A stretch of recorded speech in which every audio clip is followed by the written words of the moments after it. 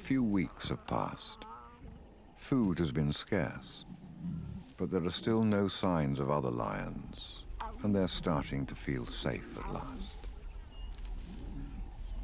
The smaller cub has gained renewed confidence by being one of just two cubs now.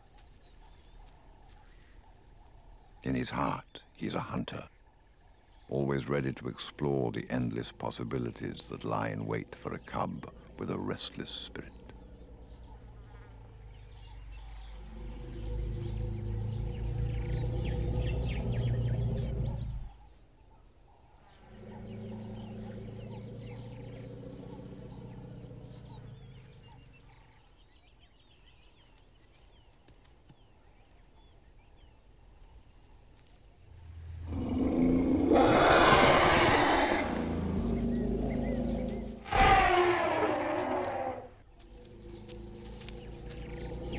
Young male, it was a close call.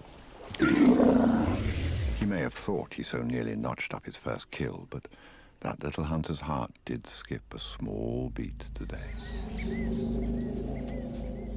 The cowardly withdrawal by the elephant confirms that there will be another chance, perhaps when he's a bit older.